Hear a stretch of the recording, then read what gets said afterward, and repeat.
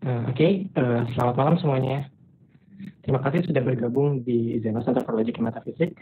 Pada malam hari ini kita akan melanjutkan salah satu agenda kita yaitu Network Analytics, di mana dalam 90 sampai uh, 120 menit ke depan kita akan mendiskusikan uh, jurnal maupun buku filsafat. Pada malam hari ini kita akan mendiskusikan salah satu buku yang ditulis oleh proponen dari Stanford School yaitu John Dupre mengenai uh, disorders of things itu mengenai proyek Disunity of Science. Diskusi malam hari ini akan dibawakan oleh Kak Banindya Sukmono. Sedikit latar belakang, Kak Banindya Sukmono ini adalah Head of Physics and Science yang akan ya, perlu panjang lebar, Kak dia bisa langsung dimulai atau gimana? Mas dia.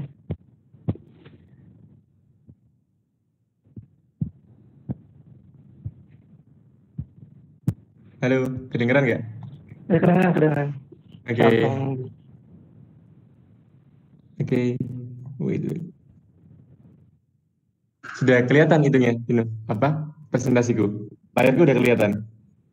Layarmu sudah kelihatan, tapi oh, oke, okay, oke, okay, kelihatan. Sudah. Hmm. Jadi kalau misalnya ada masalah langsung open mic ya. Okay. Halo semuanya, selamat malam. Ya, terlambat barusan habis ngajar, terus waktu membuka laptop, laptopnya update. Jadi kok lama update-nya, jadi karena tadi update sebentar Windows, kemudian baru bisa masuk sekarang. Jadi mohon maaf karena terlambat. Terima kasih sudah datang semuanya teman-teman untuk acara hari ini. Perkenalkan nama saya Panindiar Simono, Zeno, dan hari ini seperti biasa uh, di NCA, ini kita akan membahas salah satu karya-karya filsafat analitik. Yang hari ini saya akan membahas bukunya John Dupre, The Disorder of Things. Jadi akan saya akan review. Uh, review ini tidak bersifat kritis, jadi lebih ke arah introductory. Tapi saya akan memberikan, uh, saya akan siap menyeberang masalah dengan John Dupre. Tapi hari ini saya akan mencoba untuk mempertahankan pemikirannya. Poinnya nanti akan lebih, saya akan memberikan poin-poin utama dari pemikiran John Dupre dan juga contoh-contoh yang dia berikan. Dan kalau bisa nanti saya juga akan berikan beberapa analisis kritis terhadap uh, pemikirannya. Kemudian bisa rasa itu. Nanti mungkin sekitar semoga saya nggak terlalu lama untuk ngomong dan kita bisa lebih banyak untuk diskusi. Sebelumnya sedikit latar belakang dulu tentang The Disorder of Things. Jadi ini pertama kali dipublish tahun 93 bagian dari proyek Stanford School. Uh, jadi di seperti itu ada terkenal cukup terkenal uh, Stanford School of Philosophy of Science. Jadi memang mazhab ini yang diawali oleh John Dupre itu mungkin ada yang cukup kenal Nancy Cartwright, Ian Hacking, um, Gallison dan John Dupre ini adalah bagian dari Stanford School.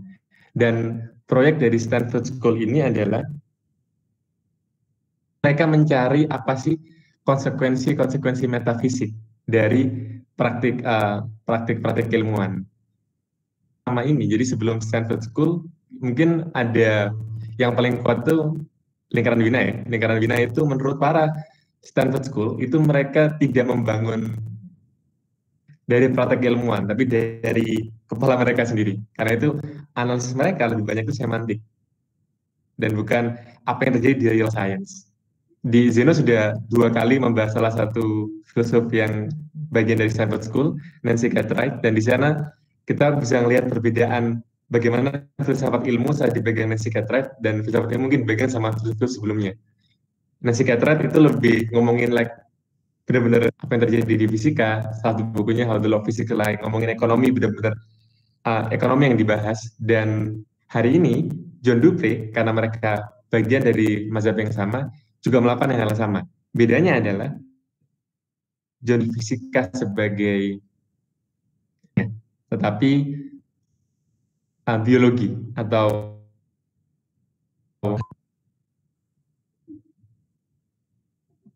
dan naruh itunya saya sudah tadi ngirim paper material awalnya. Semoga itu bisa bantu kita untuk didiskusi. Kurang lebih isi materinya itu adalah isi dari presentasi ini.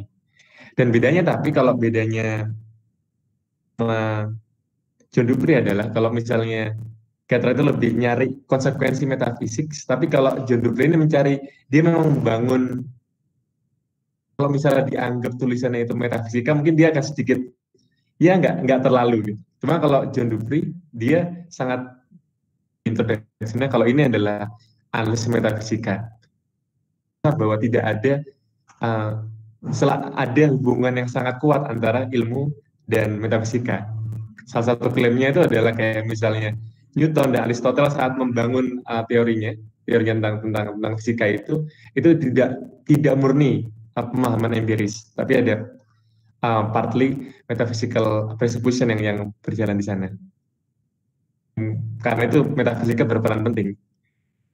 Metafisika yang yang benar, metafisika yang lebih cocok dengan praktek ilmuwan yang lebih progresif itu yang menurut Dupri itu patut diperjuangkan. Yang itu yang ingin dia coba kejar di sini.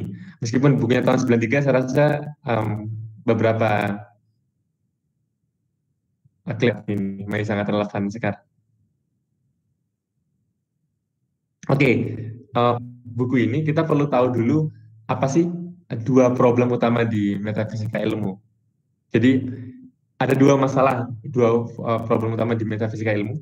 Itu pertama adalah klasifikasi. Uh, gimana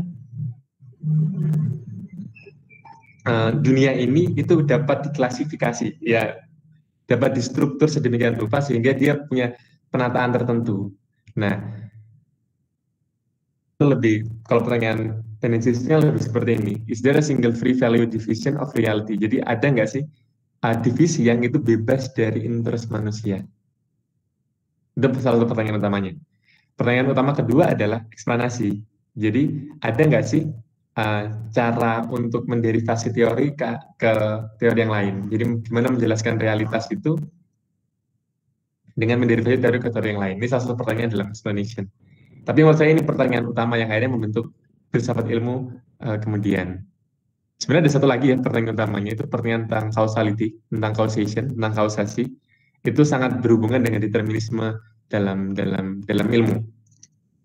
Bahas ke sana. Jadi meskipun Dupre sedikit membahas itu, tapi fokus kita adalah, saya rasa kontribusi besar utama Dupre adalah di problem klasifikasi dan di problem eksplanasi. Oke. Sebelum Dupre itu jawaban utama atas pertanyaan yang pertama tadi itu tentang klasifikasi itu uh, sangat dikuasai oleh esensialisme. Enggak selalu dikuasai, cuma ini yang paling-paling menonjol dan banyak saintis itu saya rasa uh, sepakat dengan dengan apa yang diomongkan oleh esensialisme atau kita bisa bilang taxonomic realism. Jadi esensialisme atau taxonomic realism ini percaya bahwa yang membuat dunia, yang menyusun dunia, itu adalah kumpulan dari esensi-esensi. Nah, implikasinya apa? Karena dunia ini kumpulan dari esensi-esensi, jadi uh, divisi cara kita untuk mengklasifikasi, mengklasifikasi dunia itu adalah dengan kita merepresentasikan struktur dari esensi-esensi tersebut. Nah, seperti apa esensi-esensi itu tuh tentu berani beda-beda antara satu filsuf lain, satu filsuf dan filsuf lainnya. Cuma yang salah, yang paling uh, terkenal itu waktu zaman 70-an 80-an. Itu uh, esensialisme yang di digadang-gadang sama uh, Hilary Putnam dan juga Kripke. Cuma karena Kripke dia begitu punya apa? Karena kira-kira bahkan sampai sekarang masih ada beberapa pertanyaan tentang tentang restitutionator dan yang punya pengaruh besar di keilmuan itu esensialismenya Putam, nanti kita akan lebih banyak bahas di sini tentang esensialisme. Tadi itu untuk jawaban untuk pertanyaan pertama. Kemudian jawaban untuk pertanyaan kedua itu seringnya itu di, dijawab dengan reduksionisme Jadi eksplanasi itu dijawab dengan reduksionisme atau kita bisa bilang reduktif materialism. Jadi saat yang esensialisme berkata itu di make up oleh dunia di make up oleh esensi, reduksionisme juga percaya dengan esensialisme, cuma mereka uh, maju lebih jauh lagi. Jadi dia mengatakan bahwa nggak cuma dunia ini dibangun oleh esensi, tapi esensi itu adalah yang fisikal atau yang material. Konsekuensinya adalah jika semua yang ada di dunia ini adalah fisikal atau material, berarti hal-hal yang sepertinya tidak material itu bisa dijelaskan lewat kosakata-kosakata atau material yang itu direpresentasikan oleh fisika atau mikro, mikrophysical theory. Jadi saat kita air, kita jelaskan struktur yang membangun yang membangun air itu saat kita ingin menjelaskan hal yang lain, kita jelaskan lagi dengan yang lebih kecil. Kalau misalnya example, main itu jadi kita ngomongin uh, neuronya. Kalau kita ngomongin uh, kita ngomongin gennya. Jadi itu pendekatan reduksionisme yang itu sangat cukup cukup kuat, kental dan tahun sekitar 60-70-an sebelum Dupre untuk membangun satu ilmu yang yang bersatu, unification of science reduksionisme sama esensialisme itu nggak bisa dipisahkan ya. Saya rasa at some point esensialisme itu harus jadi reduktif, itu harus esensialis. Saya nggak nggak belum melihat gimana esensialis yang nggak reduktivis, reduktivis yang tidak esensialis itu saya rasa akan jadi jawaban-jawaban baru dalam filsafat ilmu. Ini gambarnya Ernest Nagel, salah satu filsuf lingkaran Wina yang akan proyek reduksionisme. Nah, jawaban Dubre atas dua itu. Nah, Dubre ngerasa keberatan dengan jawaban esensialis dan jawaban reduksionis. Um, Dubre akhirnya me menjelaskan dia me melawan dua pandangan itu lewat dua klaim ini. Jadi, um, menurut Dubre, kain atau jenis, ya, jenis itu jadi kalau tadi kita ngomongin klasifikasi, jadi klasifikasi jenis. Contoh misalnya uh, air, dan jenis-jenis. Nah, masalahnya ilmuwan itu mencoba untuk mengklasifikasi hal-hal itu dengan yang cari yang paling natural, paling yang tidak ber uh, apa tidak punya yang paling free value dari manusia. Dan menurut Dupe, kain itu tidak mengandaikan essence, tidak mengandaikan esensi. Seperti saja, tidak, nggak ada esensi dalam dalam kain. Itu klaim boldnya Dubre, berarti jelas dia anti esensialis. Dan juga dia anti reduksionis, karena dia bilang kalau reduksionis itu oke okay, mantep, tapi dia hanya menjelaskan bagaimana bertindak, bukan apa yang yang hal itu dilakukan oleh oleh aktornya. Dan bahkan kalian tuh punya gerak yang lebih jauh lagi kalau dia ngomong kalau ini tidak hanya comparable, tapi uh, penjelasan yang tidak reduksionis itu bahkan lebih superior daripada penjelasan yang makro scale. Yang sorry, yang lebih kompleks. Oke, itu objeksi umumnya dari Dupre. Nah sekarang kita akan masuk klaim-klaim kecilnya dan nanti kita lihat sejauh apa dia bisa berhasil mempertahankan posisinya yang anti esensialis dan anti reduksionis. Oke. Sekarang kita coba tanya dulu deh, kenapa sih orang itu esensialis gitu? Esensialisme itu ada banyak. Cuma esensialisme yang dipegang oleh ilmu itu dimulai sebenarnya dari John Locke. Jadi Locke kita membagi essence menjadi dua, nominal essence dan real essence. Nah, nominal essence itu esensi yang sifatnya bahasa, artifisial dan temporary menurut. Nah, jadi, hmm, jadi itu lebih kayak konvensi. Kita nggak pernah tahu. Jadi kita menyebut uh, contoh manusia gitu. Apa sih esensi manusia? Kita nggak pernah tahu. Uh, sorry, kalau kita ngeluarkan definisi manusia sebagai um, makhluk hidup yang punya kaki, punya brain dan segala macam itu, itu belum tentu itu adalah esensinya. Tapi secara bahasa itu mencukupi ya uh, objek yang ada dalam dalam dalam jenis manusia itu it's okay nominal essence. Cuma masalahnya essence itu adalah esensi palsu. itu adalah real essence.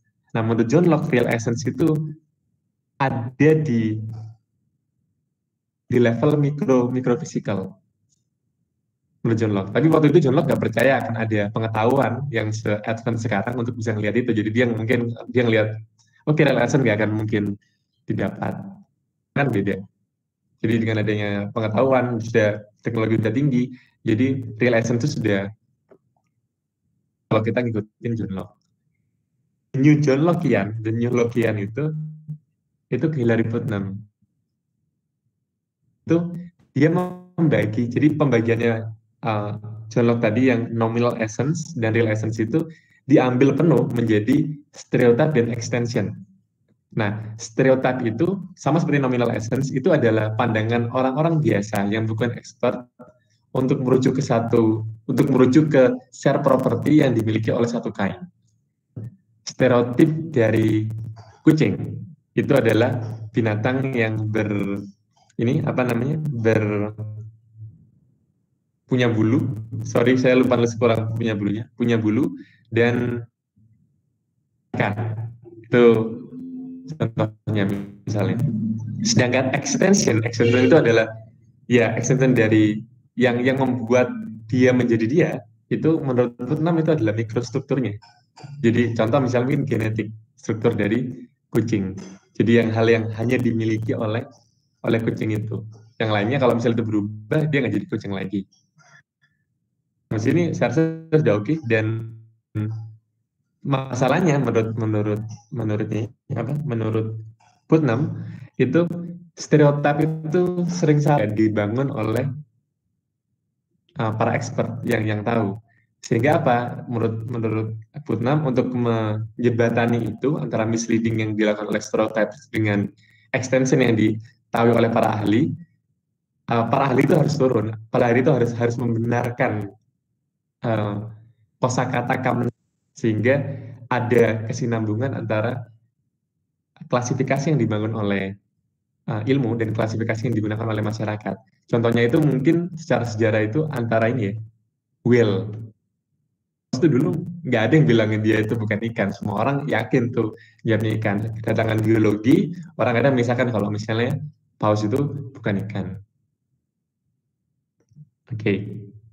Kalau misalnya kita belum jelas tentang itu, ini ada contoh yang sangat ikonik dari Larry Putnam itu tentang uh, twin earth, tentang dua bumi.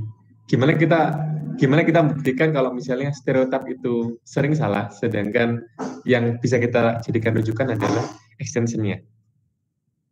Uh, caranya begini, kata Putnam. Coba kita bayangkan itu ada dua bumi, bumi dan di bumi A itu dan sorry di bumi A dan bumi B airnya itu punya penampakan yang sama. Dari anunya apa? Tendernessnya dari uh, dari kelembutannya dari suaranya dari baunya sorry dari harumnya itu itu sama. Bedanya adalah struktur yang membangun itu. Kalau misalnya dianggap di bumi kita sekarang itu yang membuat air menjadi air itu adalah H2O sedangkan di planet yang lain itu yang dia juga punya air yang dengan penampakan yang sama itu sebenarnya XYZ.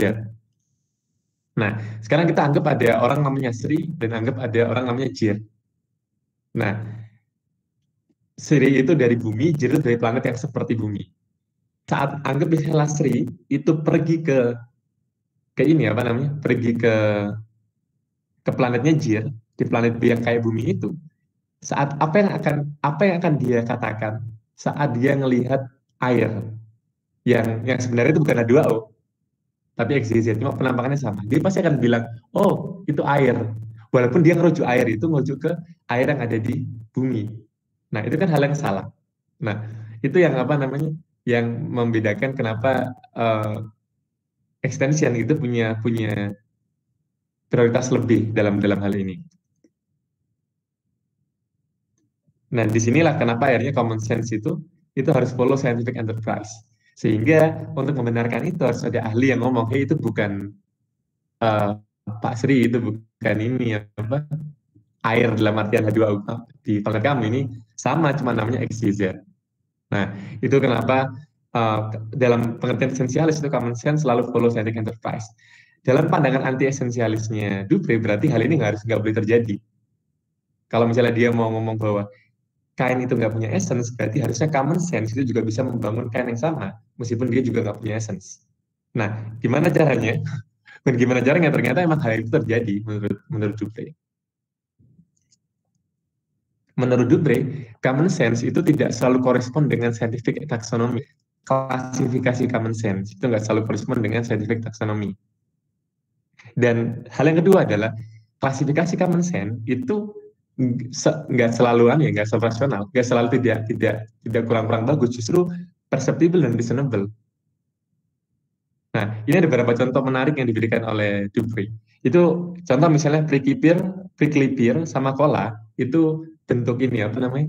Itu adalah salah satu bagian dari kaktus kalau nggak salah. Atau puntia. Di sini hal yang menarik adalah untuk orang bagi dalam pandangan ilmu, dalam pandangan biologi, dua kaktus ini itu tidak begitu tidak tidak bermakna untuk dipisahkan sama. Tapi untuk para misalnya orang yang jalan-jalan di di desert, di desert tuh di padang-padang gurun, pemisahan ini penting agak-agak ini ya, agak agak abstrak ya. Kita pindah ke lili. Lili itu salah satu bina, salah satu tumbuhan yang yang dia itu punya banyak banyak jenis. Nah, salah satu jenisnya itu adalah kalau cortus, semoga saya benar ngomongnya. Dan kalau cortus ini itu lili dalam dalam artian dalam artian biologi. Cuma dia juga me, me, apa, mencangkup tulips. Juga ada kalau nggak salah itu uh, earcats saya nggak tahu bahasa Indonesia cuma ada tumbuhan namanya earcats dan juga beberapa beberapa jenis di lili itu ngambil bawang sebagai bagian dari dari mereka. Logi pemisahan pemisahan tadi lili tulips bawang itu itu meaningless. Karena mereka sebenarnya adalah, adalah bagian dari satu genus.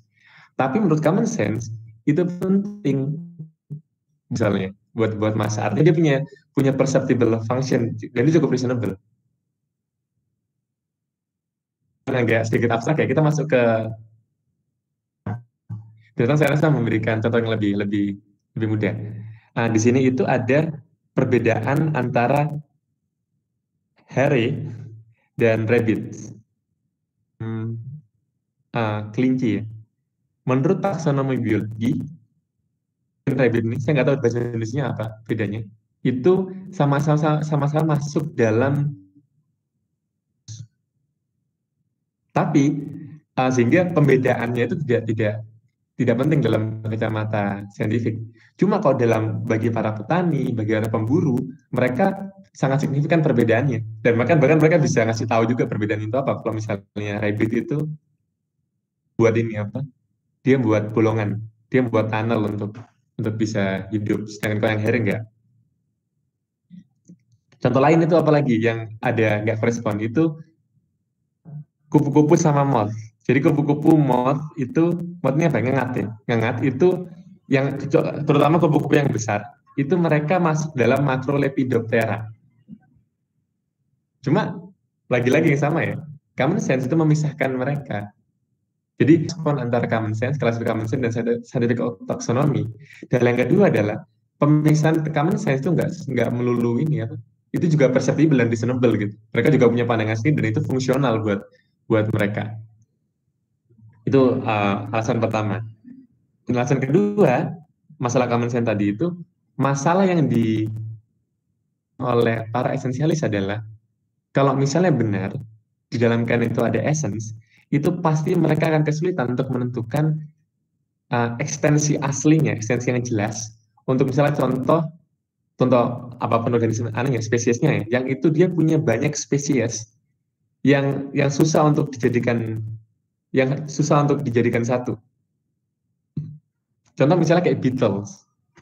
Beatles kalau nggak salah, saya lupa anunya apa, genus satu ordonya. Cleo something itu ada sekitar lebih dari 2000 recognized species. Dan saya rasa ini benar-benar kesulitan kalau misalnya kita punya uh, dengan extension yang diomongkan tadi untuk gimana bisa dalam hal yang sama mereka itu saat kalau misalnya Ken itu ada essence berarti semua 2000 ini itu punya essence yang sama Tapi gimana menjelaskan tuh mereka jadi berbeda-beda? Saya rasa itu jadi jadi tidak ini apa? Jadi tidak useful. Nanti kita juga bahas itu. Dan ini akhirnya Dupre ngomong gini setelah observasinya tentang common sense ini. There is no obligation that this kayak commonsensical distinction itu coincide with those of the taxonomies. Gak ada kewajiban untuk untuk itu. Itu yang itu yang pertama tentang yang common sense. Nah ini yang kedua. Sekarang tentang spesies. Uh, tadi kan uh, Dupre emang sering ngomongin kalau misalnya contoh-contohnya akan banyak diambil dari dari ilmu biologi. Um, spesies itu ada ada beberapa cara di, di biologi itu untuk memisahkan spesies. Dan lagi ya, menurut karena menurut Dupre itu di anti esensialis, jadi dia tidak pastinya tidak setuju dengan bagian-bagian ini. Jadi ada pembagian pertama itu morphological. Jadi kita ngelihat dari kesamaan bentuk badannya. Meskipun ini praktikal, tapi secara secara teoritis dia bermasalah karena uh, masalah mereka belum bisa menentukan apa sih yang disebut dengan similarity. Jadi ini cukup bermasalah cara memisahkan spesies dengan morphological. Um, cara kedua adalah itu dengan evolusi. Nah, pemisahan evolusi itu ada dua. Jadi biological evolutionary approach itu dan phylogenetic evolutionary approach.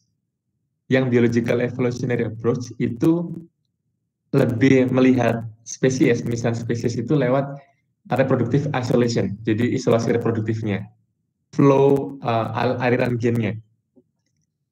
Jadi kalau misalnya reproductive isolation itu ya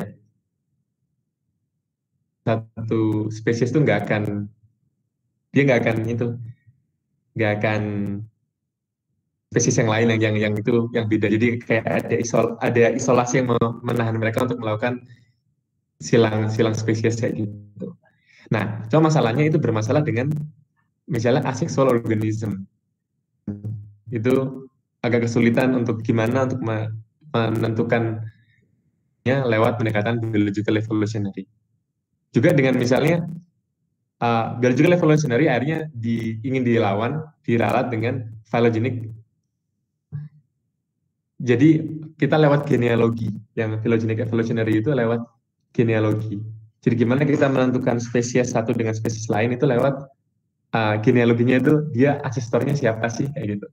Ya masalah gini, kadang-kadang kalau misalnya kayak gitu, kalau nggak salah itu, kalau kita menggunakan filogenik, aves sama reptil itu ya karena mereka satu satu ini apa satu nenek moyang. Cuma masalahnya kalau misalnya gitu, kan berarti semua kan ada nenek moyangnya satu ya. Gimana kita memisahkan kalau misalnya ini sudah harus putus baru dan ini belum masalahnya banyak uh, scholar-scholar evolutionary itu membangun kriteria yang itu kriterianya nggak inherent dari phylogenetic itu sendiri. Artinya dia butuh kriteria dari luar. Itu juga problem juga. Gimana mereka menentukan kapan genealogi itu harus putus dan kapan untuk lanjut. Itu sangat problematis. Dan saya rasa diskusi tentang itu berlanjut di filsafat biologi hingga sekarang. Nah, uh, yang paling moderat itu adalah pluralis. Ada pluralis yang strong itu punya si Dupre. Nah, pluralis itu uh, jadi dia mengakui pemisahan ini apa namanya pemisahan kayak it's okay kita menggunakan logical sama sama itu digabung. Cuma masalah with pluralis itu masih percaya bahwa kita nggak boleh ya apa namanya hmm, mereka konsistensi dengan dengan genealogi. Tapi lagi-lagi kita ada problem dengan konsistensi gimana akhirnya karena ada ada caranya kalau nggak salah.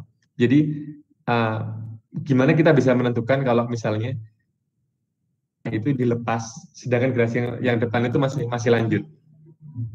Itu sebenarnya cukup hampir sama masalah dengan filogenik ya, cuma dia lebih dia tidak punya masalah kriteria, tapi dia punya masalah konsistensi.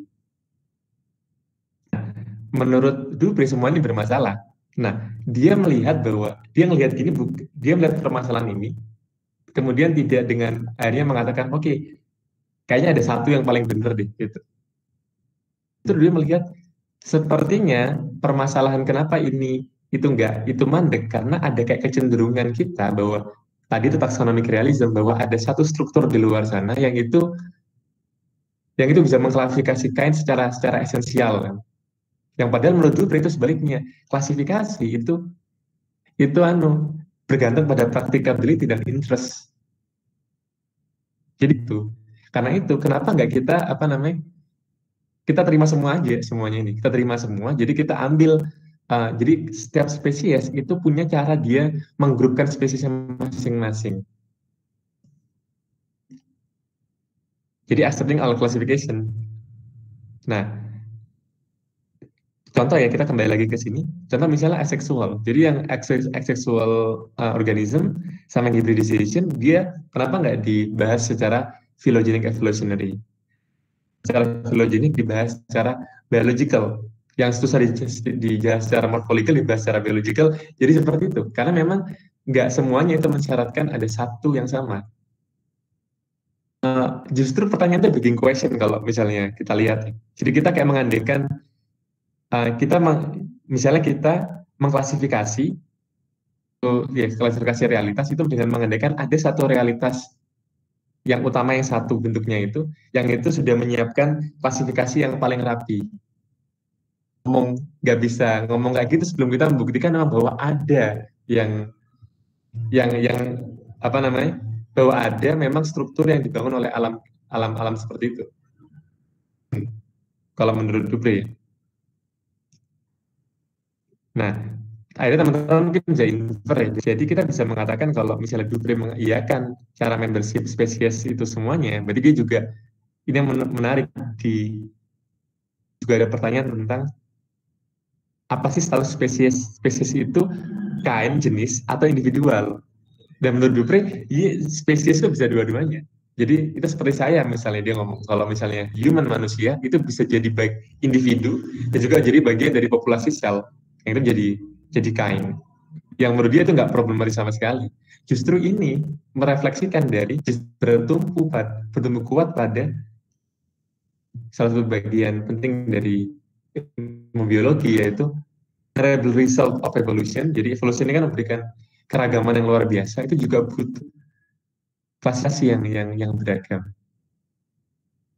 Dubre merasa kalau ya esensialisme nggak nggak nggak mungkin untuk di sebagai cara kita mengklasifikasi. Nah, mungkin ya uh, terakhir uh, mungkin sebelum itu sorry orang-orang itu mana dengan seks gitu seks itu sepertinya menjadi ini ya apa namanya menjadi kandidat yang kuat untuk menjadi kain dan essence. Salah. Menurut Dupri, uh, seks itu terlalu lemah untuk jadi essence. Kenapa? Pertama ini hal satu satu. Pertama adalah ada tiga tipe kros, kros, uh, kromosom.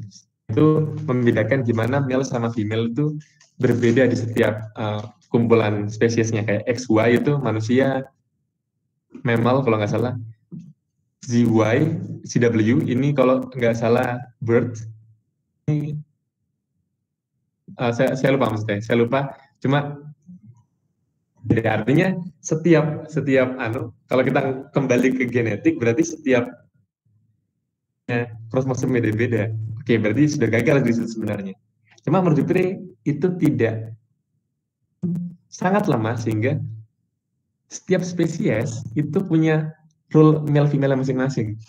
Jadi nggak nggak selalu kayak kalau kita pakai pendekatan yang antropologis itu kan kalau misalnya yang laki itu yang berkuasa, yang perempuan enggak. Jadi kalau kita kita sering tahu ya kalau misalnya ada banyak sekali serangga, ada banyak sekali binatang-binatang yang dominan itu bukan male-nya, tapi female yang dominan. Oke, berarti seks itu pun juga bukan bagian kuat dari kita mengisolasikan uh, kain, uh, sorry, kain itu mengandalkan essence.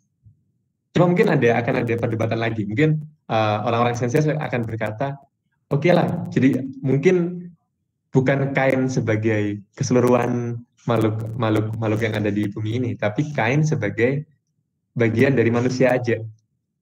Berarti misalnya gender dong berarti mereka. Cuma ini juga juga bermasalah karena gender itu juga gimana gender uh, behave dan gimana kita menentukan satu kapabilitas dari gender male dan female itu juga berbeda-beda setiap human history. Ya kalau teman-teman yang sejarawan pasti tahu misalnya uh, male domination, male, domina, male dominance, male domination dari ini apa laki dan perempuan itu berbeda-beda setiap periodnya di prasejarah seperti apa terus di middle age seperti apa sekarang seperti apa mereka punya bentuk yang berbeda-beda yang itu membuat cut uh, gender itu sendiri itu sebenarnya tidak punya tidak punya kekuatan penjelas yang kuat sebelum dia masuk dalam kompleks sistem saat dia ada berrelasi dengan politik, berrelasi dengan psikologi, itu baru dia punya powernya di situ. Tapi kalau gender sendiri itu less useful sebenarnya bervariasi. Dan lagi-lagi ya, male dominance itu merupakan anomali untuk di um, dunia dunia biologi. Sudah saya jelaskan tadi di Oke. Nah, sampai sini kita sudah kira-kira ada Dupre untuk di soal yang klasifikasi tadi itu kenapa dia anti esensialis karena memang tidak ada tempat untuk esensi ada dalam dalam kain. Menurut Dupre sebaliknya kain itu bentuknya itu share property. Jadi dia lebih setuju dengan yang nominal essence dari dari Locke atau stereotype. Nah, masalahnya stereotype itu dianggap sebagai yang lebih lemah dari yang tension dari yang real essence tadi itu. Nah ini tidak mengatakan bahwa yang real tidak selalu anu, selalu tidak berguna. Tidak sebold itu, tapi bahwa ada berbagai macam cara untuk mengklasifikasi, mengklasifikasikan dunia yang berdasarkan dengan interest, berdasarkan dengan practicability dari klasifikasi itu sendiri. Karena memang uh, keberagaman yang ada di realitas itu itu tidak mengharuskan, eh, sorry, tidak mengharuskan kita untuk menjadikan salah satu atau menjadikan banyak. Nah, ini kan pertanyaannya jadi empirical question kan. Kalau menjadikan itu menjadi pertanyaan empirical question berarti yang preferable itu yang kedua.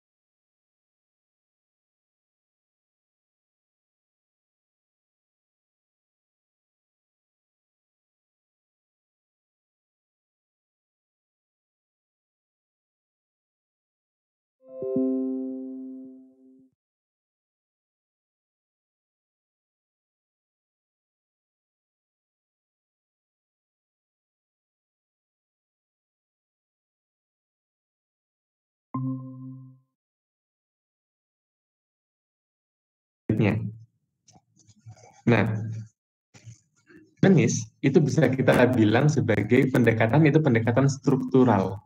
Karena dia me, me, me, menjelaskan sesuatu itu luas struktur struktur yang ada dalam entitas tersebut. Sedangkan orang yang lebih, lebih besar ya itu bisa jadi itu adalah penjelasan fungsional.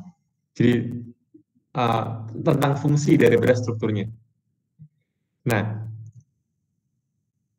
ini itu mengindikasikan kalau mereka itu punya sebenarnya hal yang nggak bisa yang membuat reduksi tidak mungkin yaitu apa struktural itu bertanya how bagaimana sesuatu itu bagaimana x for example itu behave.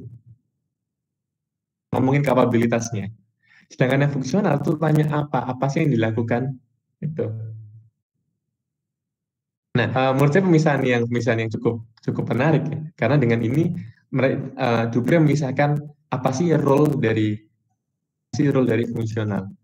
Nah, karena semuanya punya role masing-masing, jadi tidak ada begitu permasalahan saat apa namanya berjalan berbarengan. Tapi ini yang yang perlu diingat. Tapi saat satu sistem yang lebih kompleks, pendekatan struktural itu lebih inferior daripada pendekatan fungsional. Karena di pendekatan kompleks ini yang kita tanyakan sebenarnya adalah apa yang dilakukan oleh entitas tertentu dalam satu sistem uh, kompleks. Nanti saya akan kasih contohnya lebih lebih lebih lanjut. Nah, tapi sebelum itu uh, untuk menjelaskan tadi ya lagi kenapa kok memang nggak benar-benar bisa direduksi, kita perlu tahu dulu pemisahan antara antara dan general laws. Jadi abstract laws itu uh, hukum-hukum uh, yang itu masih idealisasi. Jadi hukum-hukum yang ceteris paribus itu abstrak law. Kenapa disebut abstrak? Karena itu nggak terjadi real di dunia nyata. Untuk jadi di dunia nyata dia harus dalam kondisi tertentu. Sedangkan general laws itu lebih kayak ini ya, apa namanya? Dia covering semuanya. Contoh mungkin gravitasi, relativitas itu bisa dianggap sebagai general laws. Setelah psikiatrat kita tahu kalau misalnya general laws itu bahkan bisa dipertanyakan anunya apa skupnya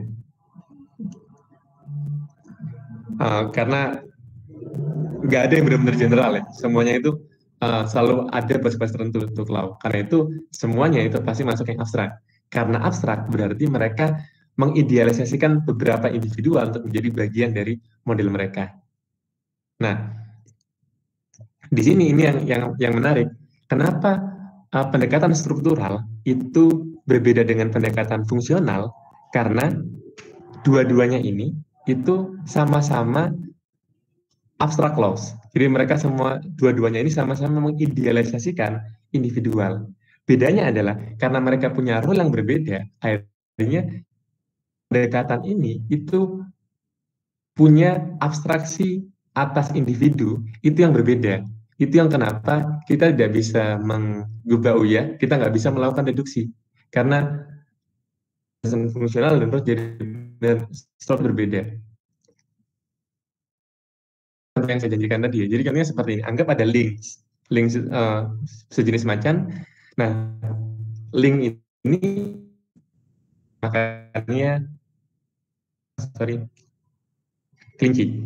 Nah, apakah kita, dengan pendekatan struktural kita tahu kalau misalnya link itu makan rabbit di satu nggak bisa. Kita cuma bisa ngomong kalau uh, link itu punya badan tertentu, gigi tertentu, sehingga dia punya kapabilitas untuk mungkin makan hari, mungkin makan rabbit.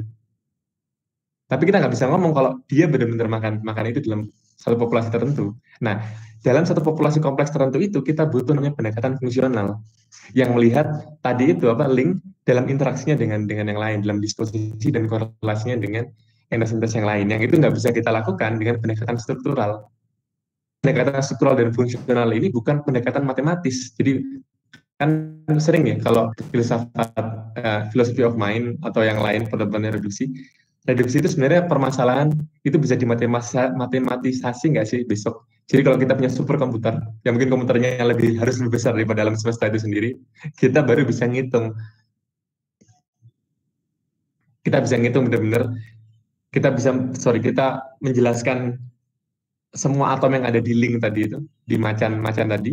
Kemudian dengan itu kita bisa tahu dia akan makan hari atau enggak dia makan rabbit, dia akan ke mana, dia masa yang apa, atau mungkin dia diet tiba-tiba nggak makan apa itu itu bisa kalau menurut menurut ini para yang dengan superkomputer itu tapi itu itu nggak bisa dilakukan karena meskipun kita sudah tahu seperti apa strukturnya kita nggak nggak nggak nggak pernah tahu bagaimana saat itu sudah bisa masuk di tanah kompleks sistem.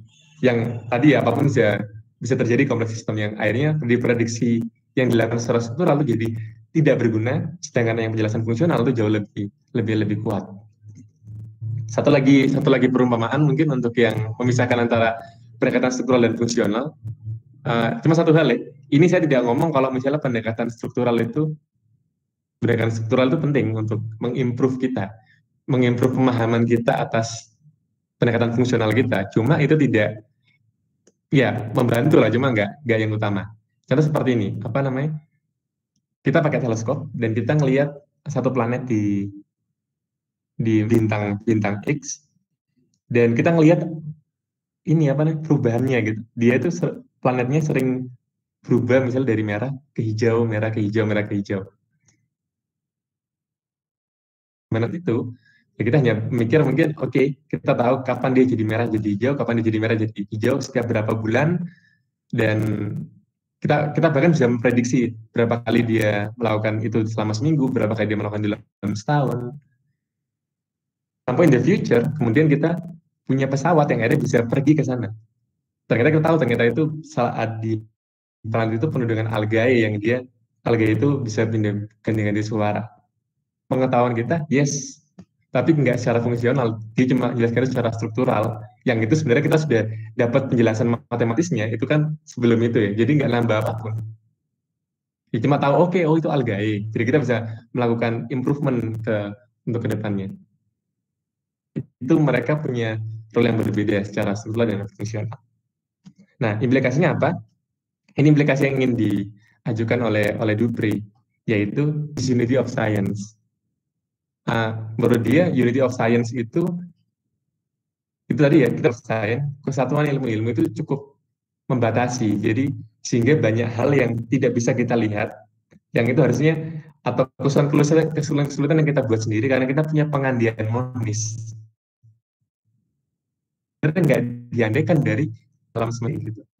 Adanya binatang tidak mengandaikan bahwa hanya ada satu cara untuk mengklasifikasi binatang. Nah, jadi menurut itu adalah science, kita bisa melakukan unity of knowledge. kita bisa menyatukan pengetahuan kita dari banyak tadi pandangan saintifik. Begitu juga dengan common sense. Nah, di sini ada satu frase yang saya kutip ini sebenarnya bukan dari dari John Dupri, tapi dari Asek Cheng. Asek Cheng itu uh, ya, yang dibimbing oleh John Dupri. Dia mengatakan bukan goes, anything goes, tapi many go. Tetap ada batasan, tentang tentang tentang tentang bagaimana kita harus me, ya, menentukan mana yang yang yang sesuai dengan interest kita. Tetap ada. Cuma bukan berarti uh, itu semuanya diambil. Tapi dengan itu kita bisa melihat banyak hal. Yang itu persis dikatakan oleh John Dupre dalam di sini apa the metaphysic the disorder of things kalau dia itu tidak sekirian ya apa namanya? Ngomong anything goes. Tapi dia masih membuka lebar antar antar sorry dia akan membuka lebar kemungkinan yang itu sains itu tidak tidak tidak satu tapi tapi plural. Yang itu akhirnya di di diformasikan ulang sama Hesed Cheng sebagai Menigo. Yang sekarang itu kalau nggak salah semua pandangan history of philosophy of science yang nggak semua history, maksudnya yang di endorse sama Cambridge itu tadi itu sebagai complementary science bahwa sains itu plural, jadi ada kemungkinan untuk kita membaca sejarah secara berbeda. Oke, okay, uh, saya rasa itu uh, pemaparan saya tentang review dari John Dupri. Saya akan sangat senang kalau teman-teman ada atau kritikan yang kritikan, uh, mari kita diskusi. Jadi, terima kasih. Oke, okay, terima kasih Mas Dia atas penjelasannya. Uh, sebelum kita langsung masuk ke pertanyaan jawab, pertanyaan nih klarifikasi aja sih. Kalau misalnya katakan antara itu di individu atau sesuai dengan preferensi tertentu yang diletakkan atas tujuan saintifik tertentu, lantas apa perbedaan antara kind dan entity di sini? Yang kedua, di proses tersebut, tujuan dari metafisika ilmu.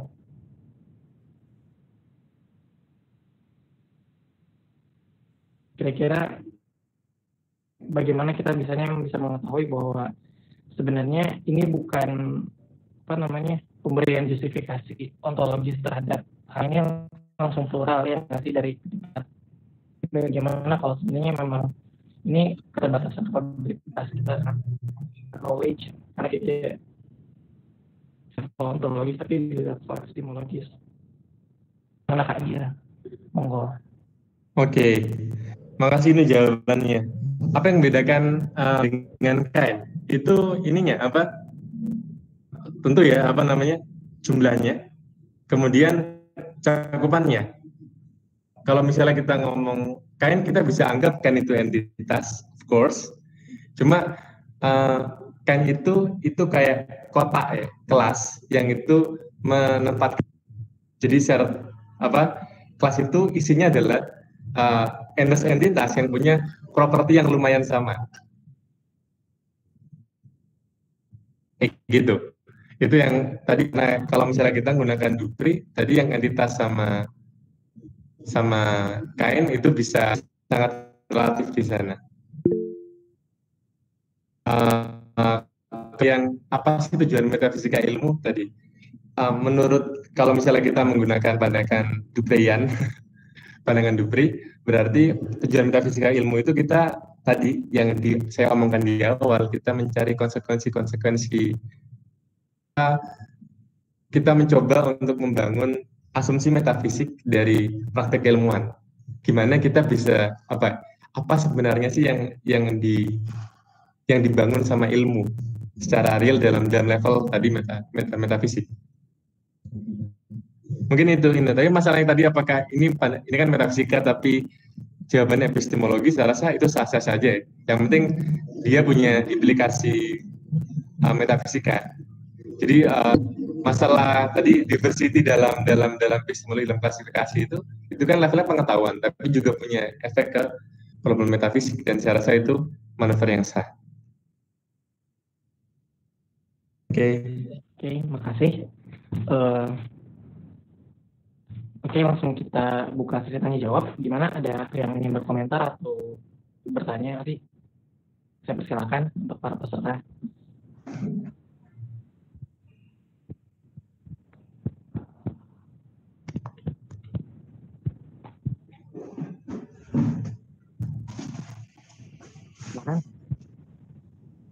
Kalau nggak ada aku mau lanjut tanya lagi nih tadi yang kalau misalnya proyek apa namanya asumsi metafisiknya harus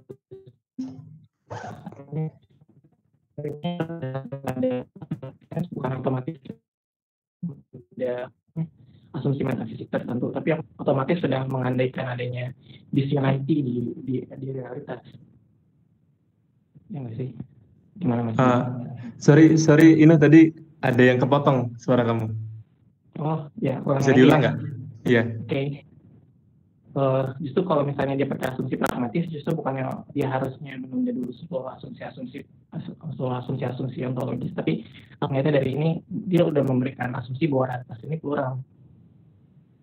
Sedangkan kalau misalnya kita mau okay, okay. lain, berarti kita agnostik kan, agnostik terhadap apa namanya, agnostik terhadap asumsi ada dalam proses metafisika eh, dalam asumsi metafisik apa pun itu itu dia kita melihat okay. klaimnya tetap ada epistemologis buatan metodologis tapi aku melihatnya tetap memberikan klaim.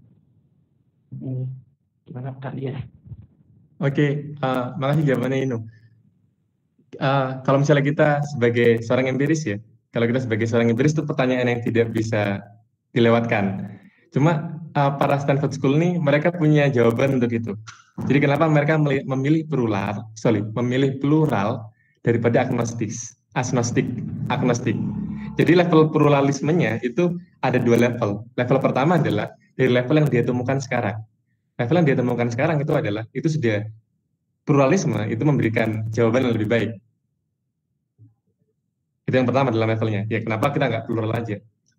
Yang level kedua adalah level di level yang mungkin di di level ada saya nggak tahu mungkin di level metafisika atau di level ontologi ini jadi pengandian kita atas dunia itu akan lebih strategis saat kita menggunakan pendekatan saat kita mengandaikan bahwa dunia itu plural dunia itu berantakan daripada dunia itu itu apa namanya dunia itu mono dunia itu monis. Karena dengan itu kita bisa tahu mana yang harus kita lakukan misalnya untuk sorry kita jadi punya punya persiapan lebih kuat untuk membangun dunia yang yang lebih kalau kita ingin monis kita tahu monis atau dibiarkan aja udah dibiarkan saja jadi kalau um, diandekan itu ada lukisannya Russell Hacking kalau nggak salah itu kita itu kalau misalnya nggak plural kita nggak kita tuh nggak nggak nggak menganggap dunia itu plural kita kayak masuk ke kamar sebenarnya kamar itu berantakan tapi kita nganggap bahwa kamar itu bersih kamar itu rapi that's not good karena kita punya nanti tindakan kita kan ber, beranggap bermula dari perandian itu. Tapi kalau kita sudah menganggap bahwa dunia ini plural, yang itu based on the fact kalau misalnya tadi itu, misalnya segala macam tadi itu memang mengharuskan kita plural, kita tahu apa yang harus kita lakukan. Jadi statement atas antasan apa nih? Antas apakah kita jadi agnostik ataukah kita jadi plural itu bukan lagi permasalahan mana yang lebih empiris dan mana yang enggak. Cuma itu sama-sama sudah empiris, tapi yang satunya empiris sudah dia mengambil tindakan ini karena dia ngerasa itu lebih pragmatis. Ya justru ini ya tadi ya, justru ini uh, pragmatis pragmatis bersih. Jadi dia ngelihat bahwa, bahwa ini adalah jalan yang yang paling tepat untuk menganggap kita mengambil stand plural daripada kita mengambil stand agnostik. Oke, okay, kira-kira gitu, uh, Inu. Oke, okay, uh, gimana ya, Ada yang komentar atau? Aku mau nanya dong, Oke, monggo Uh, ini apa kalau kita ngomong realisme campur aduknya si promiscuous realismnya si siapa Dupre ini kan sebenarnya kan tadi kan ngomongin tentang carving nature at its joint kan sebagai problem dasar dari semua esensialisme kan ada satu ambisi untuk bisa melakukan apa ya semacam operasi di alam itu dibayangkan seperti jasad itu dari kita bisa motong pas di tungkainya gitu kan carving nature at its joint. Tapi padahal kan ditunjukkan oleh Dupre nggak ada esensialisme itu keliru dan bahwa akhirnya ada begitu banyak cara dalam menata dunia ini gitu. Tergantung skema klasifikasi kita kepentingan agenda riset kita dan seterusnya. Nah lalu eh, apa dan dari situ kan argumen tentang pluralisme yang tadi disampaikan. Nah yang pengen saya tanyakan itu lalu bagaimana Dubre ini mengatasi problem demarkasi itu loh antara sains dan pseudoscience? Kalau dari zaman dulu kan karena dan lain-lain kan membangun demarkasi itu dengan antara jenis-jenis pernyataan dan pernyataan itu harus bisa diikat pada satu peristiwa fisik yang teralami secara fenomenal, maksudnya bisa diindrai secara langsung, makanya positivisme logis mereka itu. Nah, tapi kalau dalam kerangka Dubre ini, bagaimana dia bisa memilah antara penataan yang dan penata, penataan yang sifatnya itu pseudoscience, misalnya mencampurkan antara manusia dengan eh, apa katakanlah tentang bang kebangsaan atau roh zaman apa segala macam itu kan juga bisa menjadi entitas yang dipilah di dalam peranak di dalam yang diperbolehkan di dalam semangat pluralisme itu. Oke, okay. uh, thank you, uh, makasih uh, pertanyaannya, Bung Martin. Jawab sama Dupre di bab di dua bab terakhirnya yang tentang tentang itu tentang demarkasi itu. Uh, saya ada dua jawaban. Yang saya juga sebenarnya kurang yakin atas jawaban yang kedua, tapi jawaban pertama itu jawaban textbook, jawaban kedua jawaban yang saya coba kembangkan sendiri dari dari Dupre. Jawaban pertama adalah sebelumnya sebelum sampai sebelum mas, masuk ke sana Dupre itu melihat bahwa demokrasi Popper itu ini ya apa itu gagal dalam menjelaskan demar, demarkasi. Metode itu itu cukup gagal. Karena prinsip falsifikasi itu mungkin terdengar bagus dan sebelum setelah teori itu difalsifikasi, tapi kita nggak pernah tahu. Kita falsifikasi apakah membangun sorry teori yang salah itu membangun keilmuan atau memang itu yang harus digantikan dengan teori lain. Misalnya kayak uh, Mercurius itu that's good karena itu dikasih karena Mercurius itu ternyata diganti dengan dengan teori relativitas. Tapi sorry teori gravitasi dalam menjelaskan kalau nggak salah orbit Uranus atau Neptunus ya. Uranus kalau nggak salah. Itu ternyata karena ada Neptunus itu bukan bukan bukan kegagalan tapi tapi ini apa justru itu membangun teori itu sendiri. Dan di sini menurut Dupre demarkasi Popper itu gagal. Dan di sini kalau secara textbook dia dia bilang kalau cukup pesimis terhadap kayak misalnya astrologi logi dan logi dan itu explicit answer explicit membatasi mana yang harus kita buang dan mana yang harus kita enggak. Kalau saya ngelihat jadi itu jawaban itunya itu jawaban textbooknya. Kalau yang saya coba coba kembangkan itu di sini apa namanya uh, saya rasa sorry. Di, di awal di awal bukunya juga masih bilang kalau dia itu saya ini masih percaya bahwa masih yang paling utama scientific practice itu yang paling akurat menjelaskan. Jadi yang saya yang saya maksud di, yang mungkin di sini yang di sebagai menigo itu yang penting bermanfaat. Yang bermanfaat yang penting fruitable dalam dalam artian penjelasan penjelasan ilmiah. Jadi dia punya punya basic yang yang cukup untuk untuk ini apa untuk menjelaskan karena saya saya infer itu dari apa ya, pembelaan Dupree dari dari pemisahan common sense. Saya rasa gitu, Bung Bung Martin. Jadi uh, apakah nanti misalnya hidup sains misalnya uh, ilmu ilmu nazi ilmu dan segala macam tadi uh, saya rasa nanti empirical edukasi itu yang yang ini apa namanya yang bisa menentukan mana yang benar dan mana yang yang yang yang salah kalau dalam itu adalah artian apa kalau kita ngomongin akurasi berarti dari itu masih di tempatnya di empirical education-nya. Tapi kalau misalnya itu masalah yang sudah cukup, yang sudah non empiris ya kayak klasifikasi, kayak eksplanasi tadi itu kan kita nggak bisa ngukur eksplanasi, sorry, klasifikasi sama eksplanasi itu lewat empirical education karena karena tadi karena masalah yang tadi itu. Saya rasa di sini, karena saya rasa di situ selama itu truthable dalam dalam penjelasan ilmiah. Oke okay, oke, okay. thank you. Terima kasih atas penjelasannya, terutama memang okay, pengembangan metafisika saat ini memang selalu berfokus tentang carving joint tadi. Carving joint. Nah, ini ada, ada jawaban lagi tadi tentang Bung Martin. Mungkin boleh ya.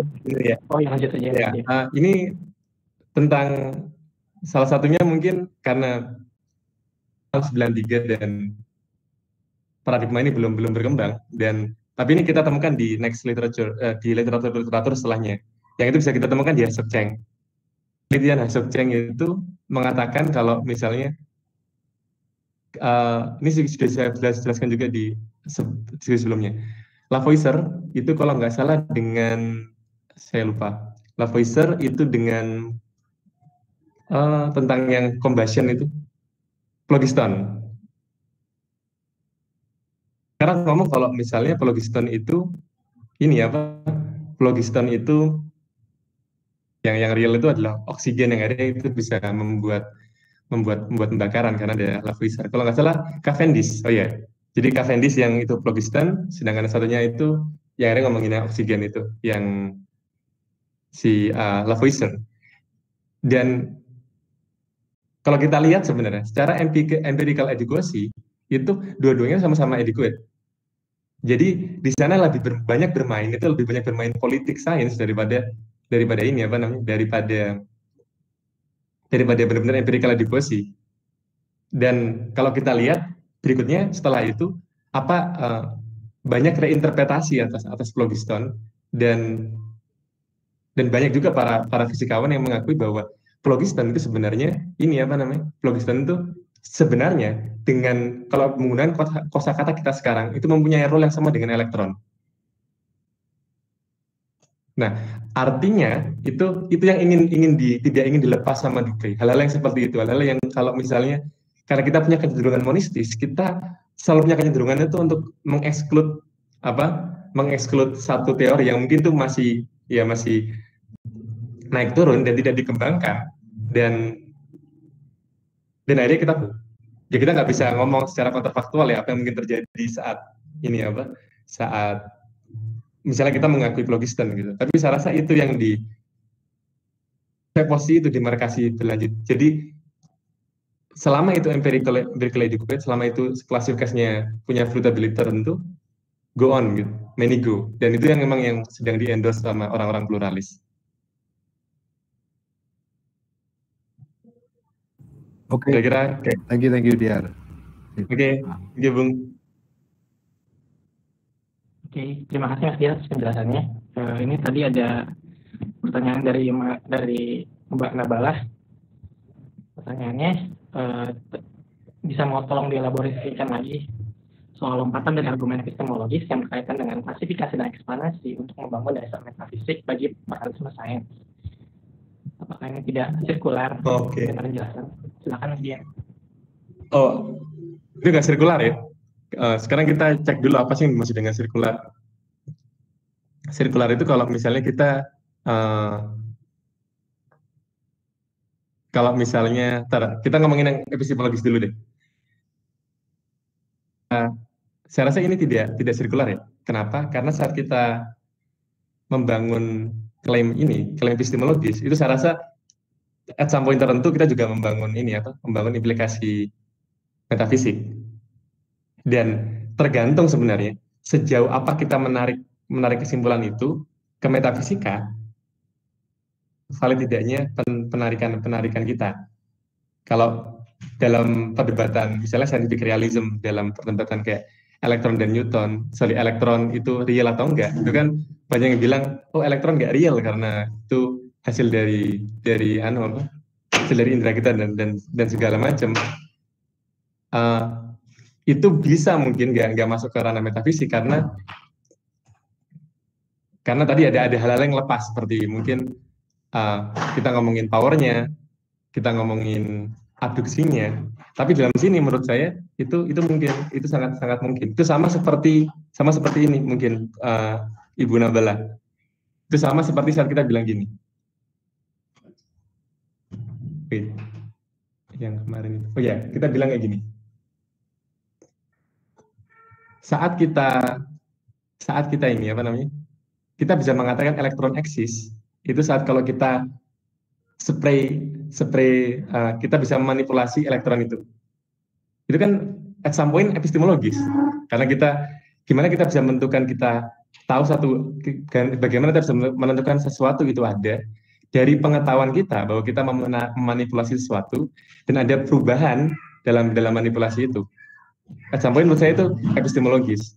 Dan sama seperti ini, kalau kita misalnya tahu bahwa ada berbagai macam cara cara ini apa namanya, cara untuk mengklasifikasi realitas, kenapa kita nggak mengatakan dunia dunia ini punya kemampuan untuk untuk sebagai kemampuan klasifikasi yang yang yang pluralis, yang promiscuous itu, yang campur yang campur aduk.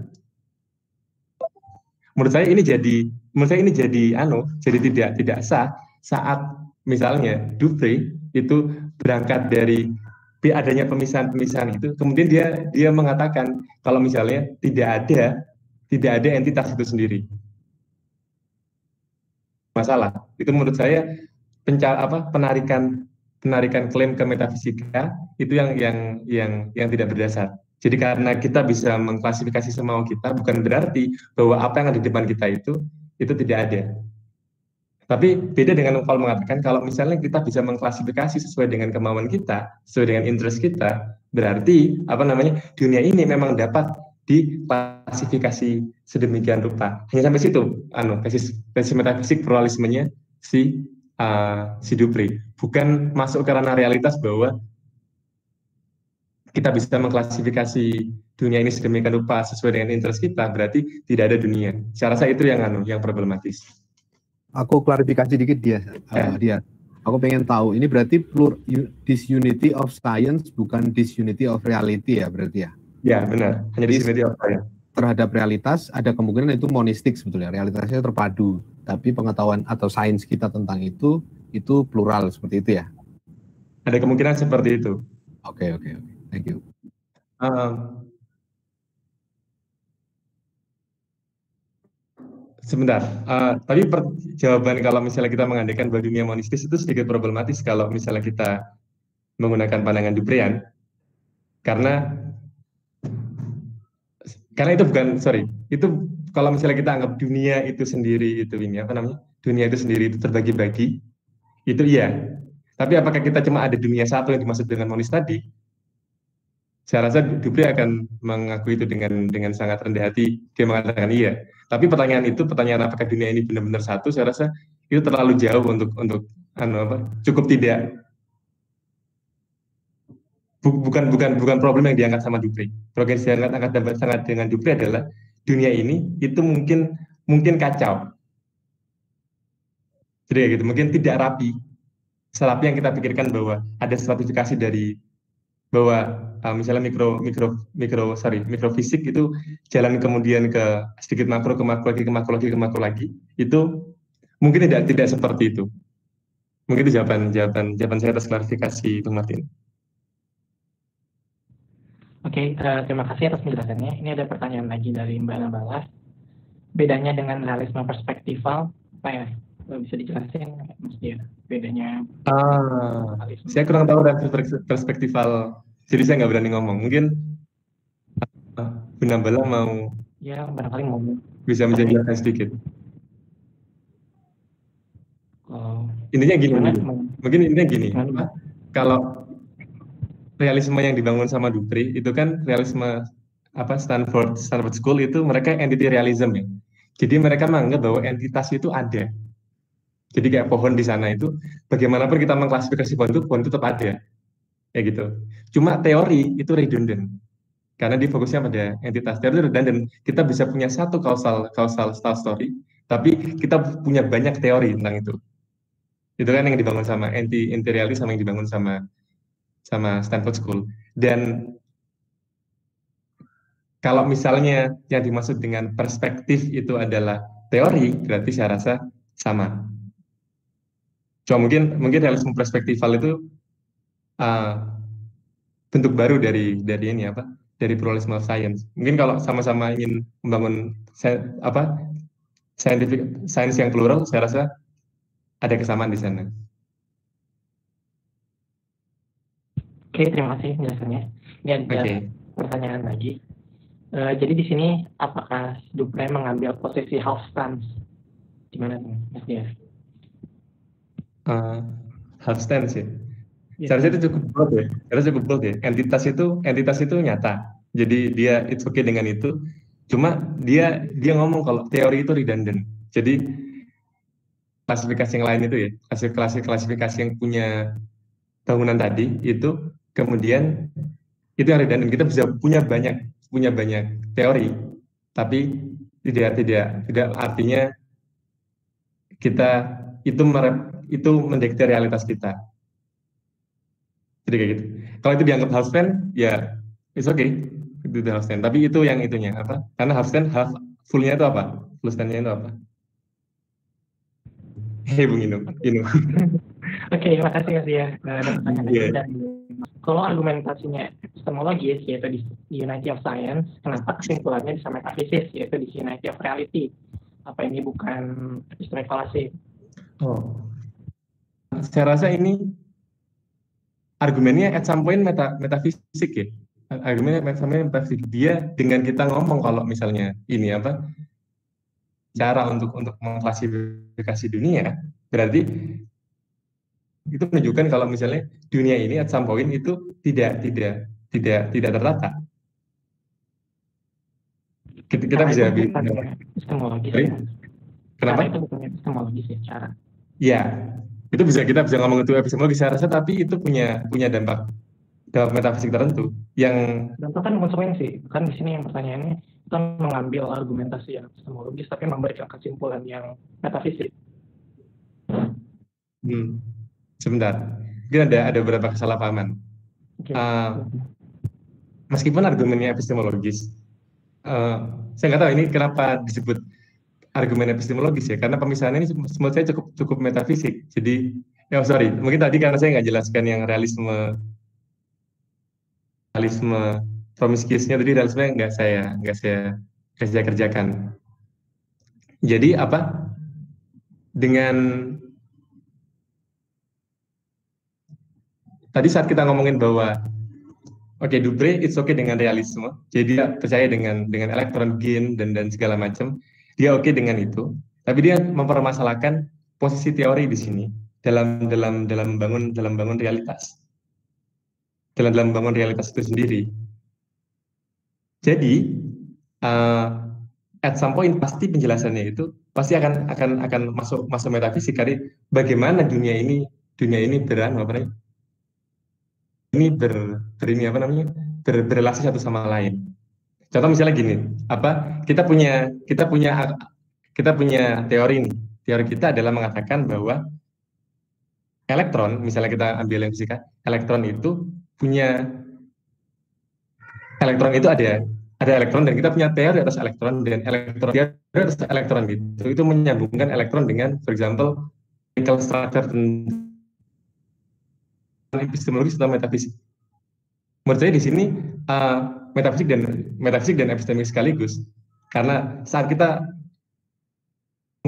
pengetahuan kita atas teori kita atas elektron tadi yang berhubungan dengan dengan realitas lain. Cuma itu mengandung mengandung anu dimensi metafisik. Dimensi metafisik di mana? Bahwa memang elektron itu itu punya hubungan dengan misalnya unsur unsur kimia. Kalau misalnya saya ambil itu ke sebaliknya, yang saya lakukan, sorry, yang Dupre lakukan itu ada elektron, misalnya, sorry, ada ada ada spesies, dan spesies ini tidak berhubungan dengan dengan, dengan essence. Berarti kan juga ngomong tidak berhubungan kan sama aja ya. Cuma tadi positif dengan tadi negatif. Saya rasa dua-duanya sama-sama metafisik. Berarti nggak ada hubungan hubungan yang yang anu yang yang ajik antara antara tadi antara essence dan Uh, terima kasih atas penjelasannya. Ini ada pertanyaan lagi dari Mas Rizkia tentang disunity of science yang berdampak pada unity of knowledge. Apa perbedaan mendasar dari knowledge dan science yang diasumsikan oleh Dupre? I mean dengan scientific ethics, many ego, bukannya keduanya malah jadi beresiko menjadi tidak terbedakan antara uh, tadi uh, knowledge dan science yang diasumsikan oleh Dupre itu. Gimana mas? Bisa dicek di comment section. Oke, okay. oke, okay, thank you Ino. Thank you pertanyaannya, Bung Bung Yosi. Uh, sorry tadi saya nggak ngomong. Tadi maksudnya dengan disunity of science itu dan dan knowledge. Uh, apakah ada risiko kedua jadi tidak terbedakan? Yes, justru apa namanya? Kalau misalnya kita menganggap bahwa penekanan penekanan Dupre itu di di epistemologi instead of monisme science itu ketidak terbedakan itu itu bukan hal yang anu apa namanya? Bukan hal yang bermasalah. Ya, saya rasa itu tadi pertanyaan cukup hampir cukup sama dengan yang dilakukan silakan sama Bung Martin. Memang ada akan point jadi tidak terbedakan besok. Cuma yang justru itu yang ingin dilawan sama sama Dupri. Uh, ke ini ya tendensi kita untuk memoniskan sains, memoniskan sains dan kita menganggap menganggap remeh yang lain itu justru yang yang anu yang ingin dilawan sama sama Dupri. Jadi selama ada tadi ya fruitability-nya, kemudian sama ada empirical edukasi yang itu bisa saya rasa itu yang dalam pikiran hubungan proses yang sangat saintifik itu menigonya itu akan berjalan dengan seperti yang akan dikatakan Bung Isia. Nah, jadi berisiko tidak terbedakan, tapi kita dapat unity of knowledge, kita dapat kita lebih dapat banyak referensi untuk dan kita tidak mengeksklusi beberapa pandangan yang mungkin jatuh tidak bukan karena empirical edukasi tapi karena misalnya ada permainan politik di sana kayak misalnya kasus Logiston kemarin. Dasar dari knowledge dan saya diasumsikan oleh Dupre uh, saya rasa yang dimaksud dengan disunity of science itu berarti mungkin yang tadi itu yang monistik yang kecenderungan saya untuk monistik itu karena prioritas itu knowledge bisa dibaca, kebalikannya. Dan saya mendukung pembacaan kebalikannya. Knowledge itu juga bisa saintifik daripada eh, knowledge itu bukan sorry knowledge itu bukan berarti I'm sorry maksudnya knowledge itu bukan monopoli satu model sains. Itu yang yang mungkin bisa saya bulutkan tapi bisa banyak dari ada model sains yang itu empirical edukasi knowledge. Tidak terbedakan, it's okay tidak terbedakan. Sebenarnya hidup Menigo itu tidak terlalu membedakan itu, tidak ada kayak prioritas sains over yang lain. Selama itu rata-rata dia punya tadi ya punya reasoning dan punya tadi itu kira-kira you know. semoga menjawab Bung Yosi Terima kasih penjelasannya. Uh, apalagi yang mau bertanya? Silakan.